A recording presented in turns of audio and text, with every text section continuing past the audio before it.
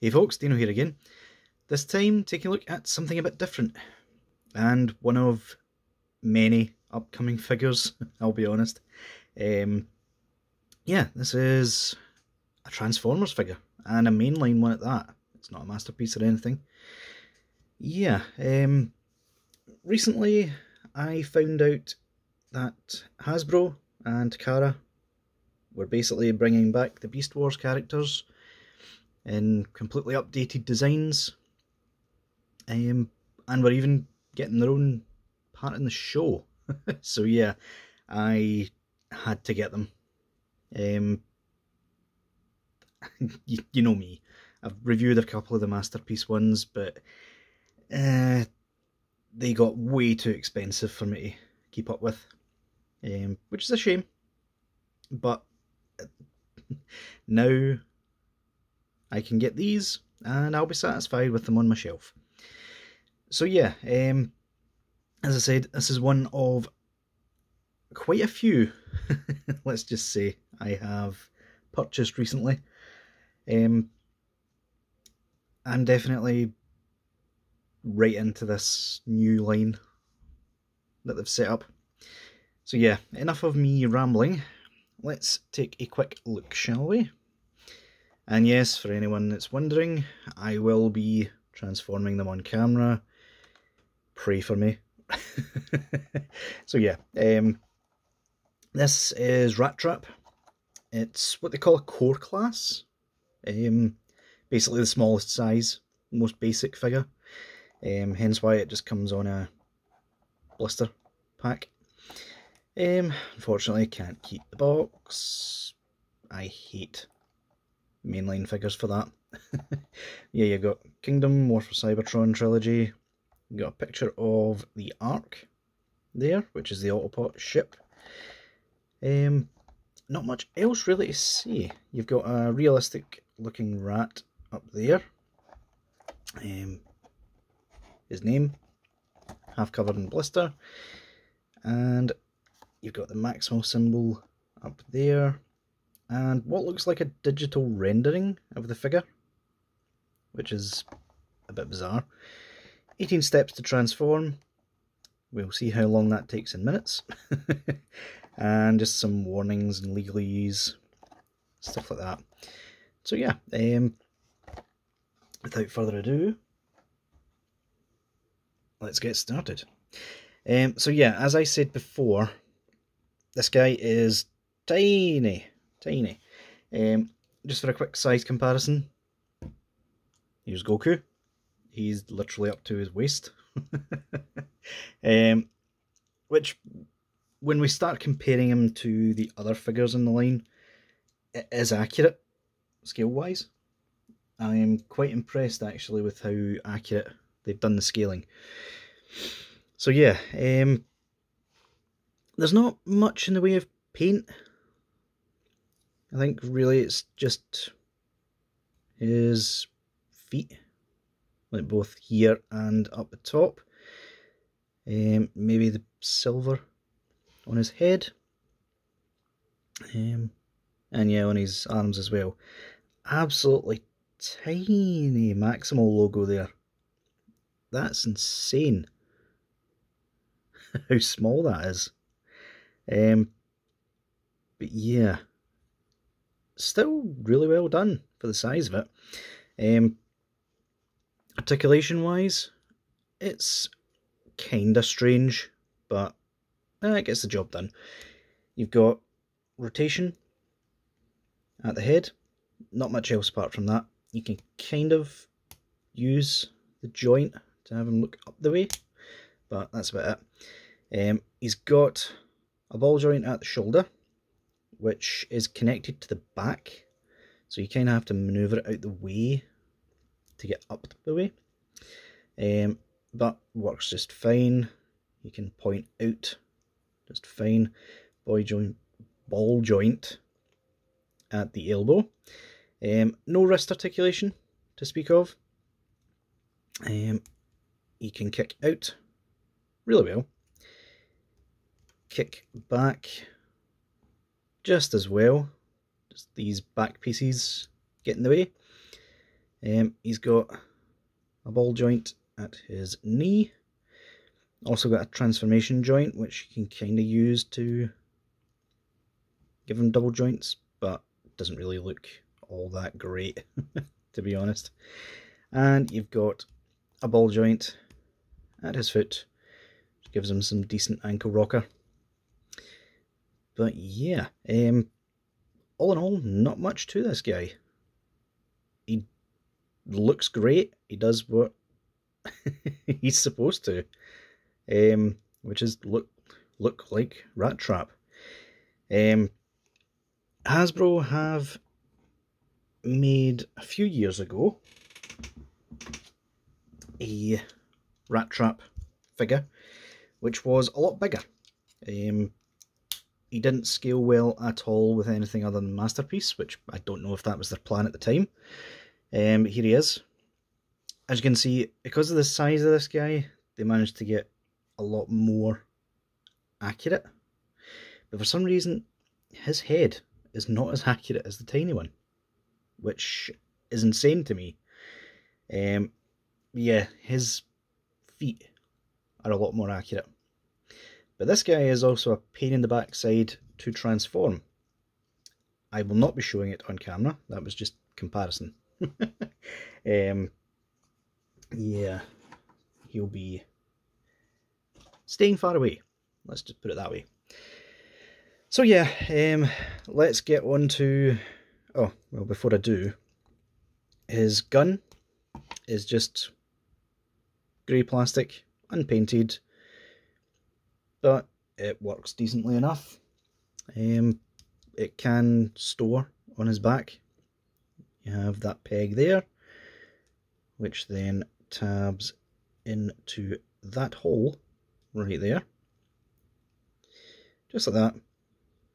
Easy as that. So yeah, um, again, yeah, I'm, I'm putting off transforming him. um, you can sort of de-transform him and you'll find a peg hole that fits stages, stage stands. Um, kind of difficult to get in there, but it does work, trust me. Um, probably not meant for this specific one, because this is made by Bandai, different company. Um, but I can assure you it does work, and quite a lot of the Beast Wars figures actually have those pegs, those peg holes, which I'm kind of impressed by. Uh, but yeah, let's uh, stop putting it off and just get this guy transformed. So you want to start by unpegging the tail piece. Um, that's on a rotation. Put that down like so.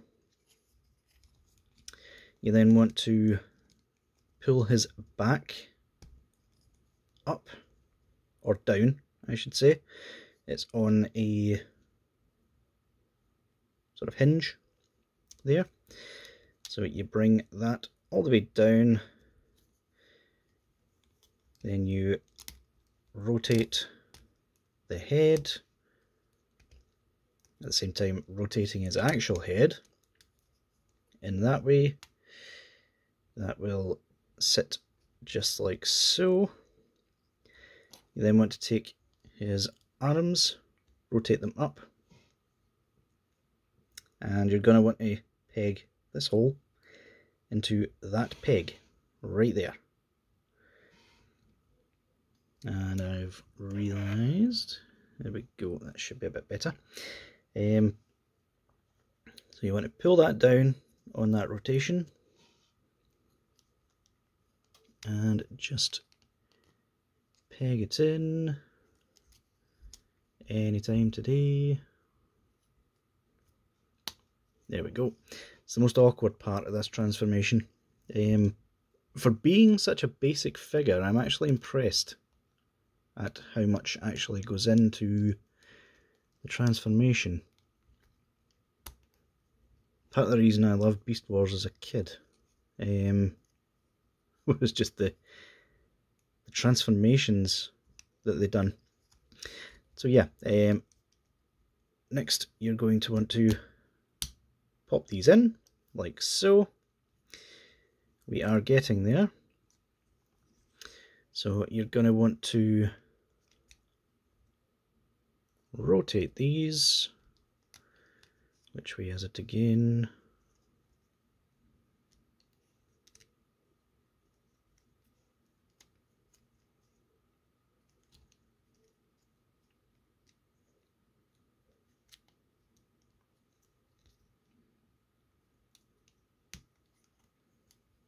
Apologies, folks. Yeah, so you want to tab that into the back of his arm. Easier said than done. There we go.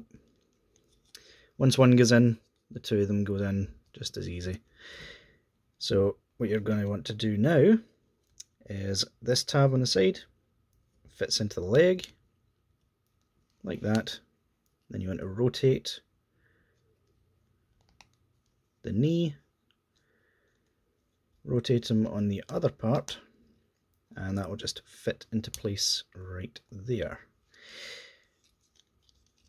Then you're going to want to do the same on the other side. Rotate, rotate, fit together. And there you have Rattrap. And yeah, in his beast mode, he's pretty much a statue.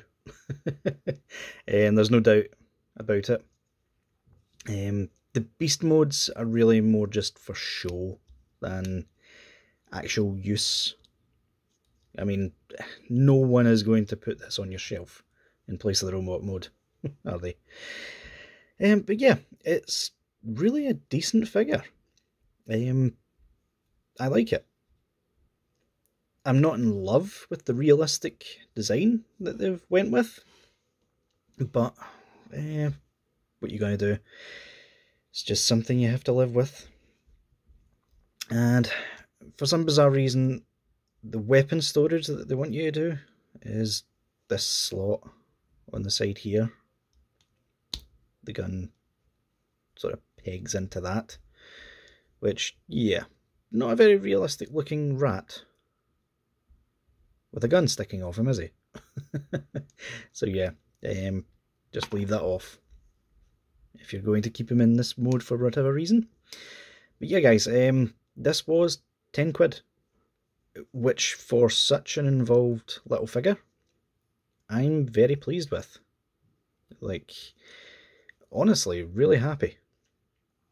Um, so yeah, let's quickly get him back into his robot mode just to finish off. As you can tell, I'm new at this. Don't judge me. Please. um, so yeah, just get the legs back the way they started. Pop that out. Pop the feet split him open.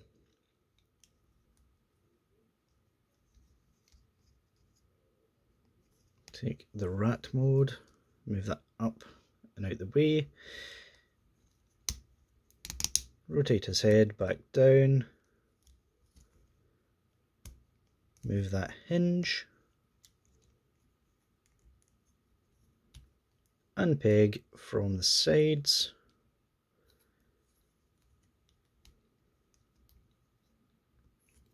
Move his arms back into position and clip his back to his other back.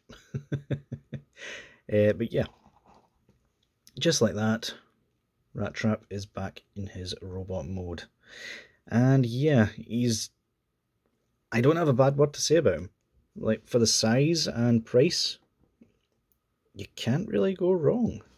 uh, so yeah, guys, um, hope you enjoyed this review. There's plenty more of these guys coming while we wait for new Dragon Ball figures that I actually want. so yeah, until next time guys, I'll see y'all later.